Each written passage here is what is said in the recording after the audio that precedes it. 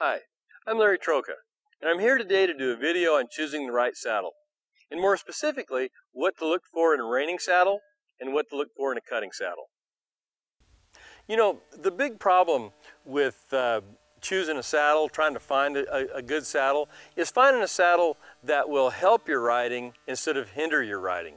We also need a saddle uh, that is comfortable for our horse, that's a good fit for our horse. But the biggest thing is, you know, finding a saddle that allows you to ride in balance, uh, time your horse, and sit that big stop.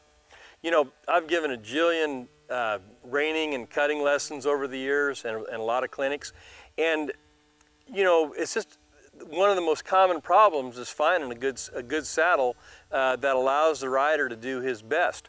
You know, a good example is, uh, you know, I had a lady come, come take a lesson one time. She had just bought a new reining horse. She wanted to learn how to do reining. And um, so she, she brought the horse over and um, you know, the lesson just wasn't going good. You know, she had a hard time staying in balance when she was loping her horse. She had a hard time, you know, timing that horse uh, for the maneuvers. And there was no way she could sit the big stop. Uh, you know, she was stiffening up a lot. She was falling forward. Uh, you know, it just wasn't going well. And, you know, I just told her, you know, hey, don't worry about it. You know, it'll take time. And she was fine with that. Um, but she asked me if I would work her horse for her so she could kind of watch. And I'll tell you, when I went to get on the horse, as soon as my butt settled in that saddle, I mean, I immediately knew what the problem was. I mean, that saddle made it almost impossible to ride well. You know, even I couldn't lope the horse in balance and time him right. And I couldn't sit uh, that, that big stop in that saddle.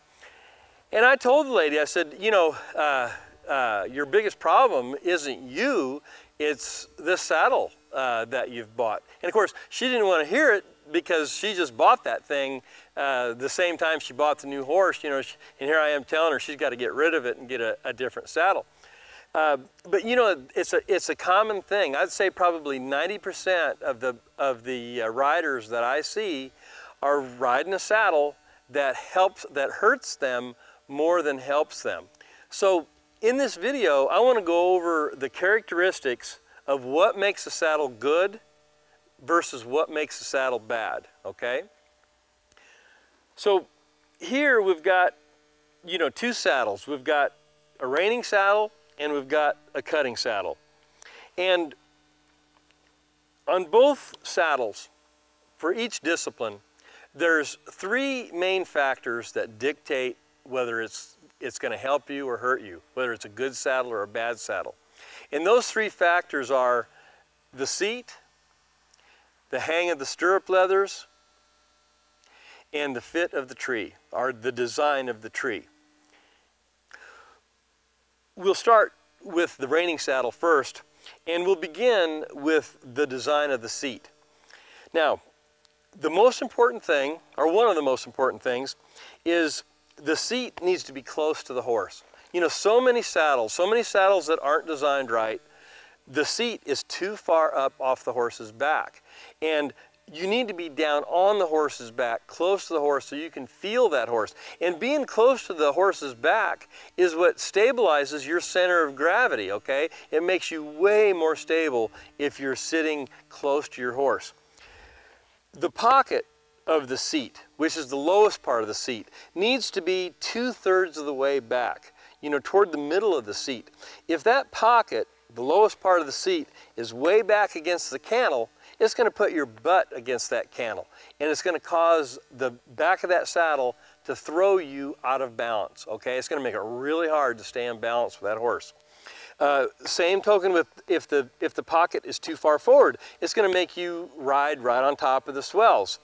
You know, which isn't as bad as riding back on the cantle, but it's not ideal. Ideally, you, that pocket, the lowest part of the seat, needs to be about two-thirds of the way back, right about where my hand is. And I think the camera can pick it up.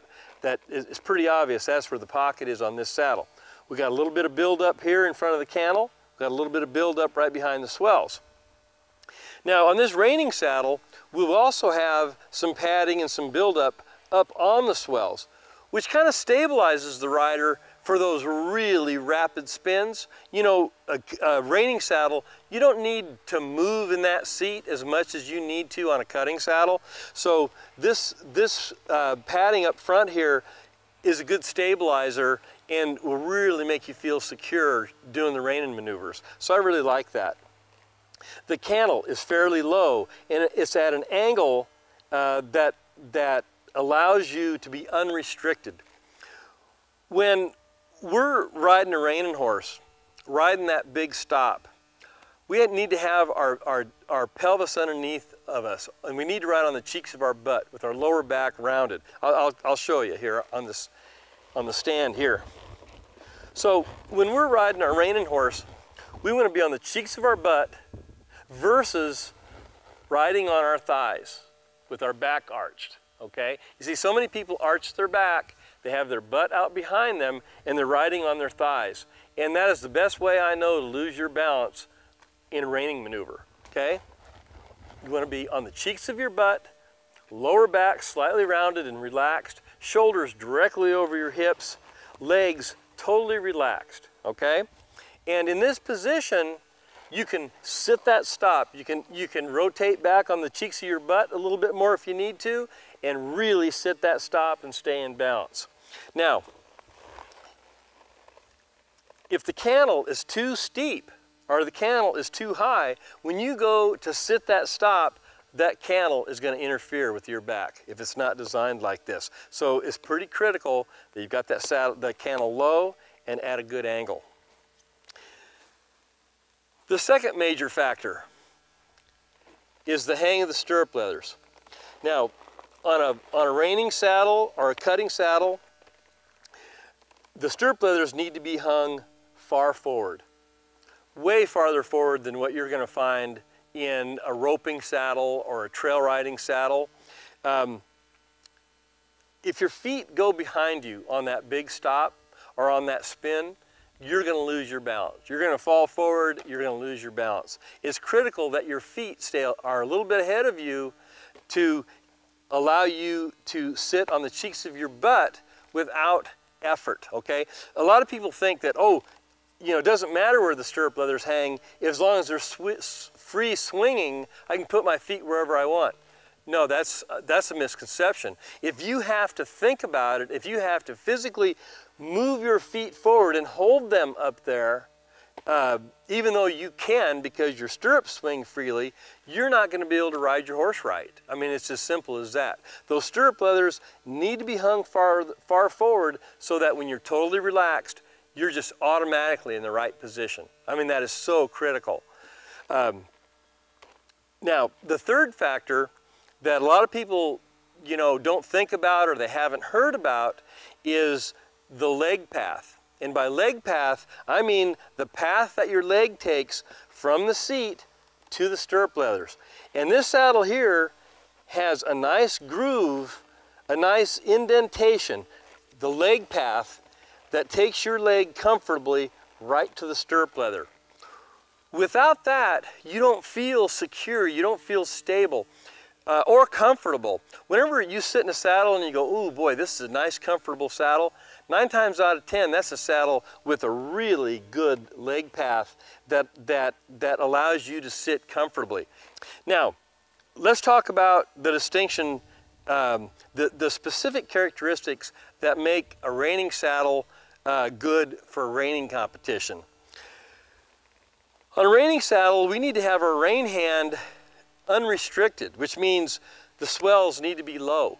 This saddle um, has between a seven and eight inch high swell. The horn needs to be low. This is a two inch horn. I wouldn't want a horn any taller than that. And it's a nice shaped horn. I mean, if I had to get a hold of it, you can get a hold of it. But basically you want low swells and a low horn on a reining saddle.